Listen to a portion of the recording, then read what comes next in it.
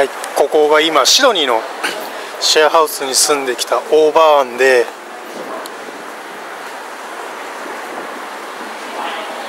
一番シドニーの中でも物価が安いらしく一番なんだろうな移民で移民の人たちが住んでる街でもあるんだよね。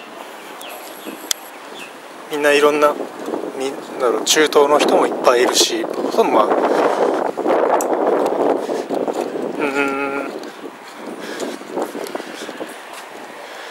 店を見る限り中国人かな。でも結構ね アフリカ圏の黒人の人も見るからな。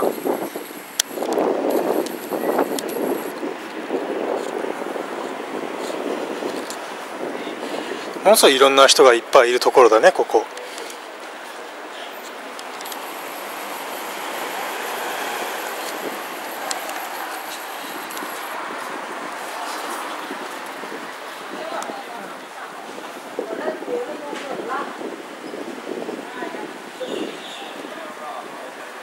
idea.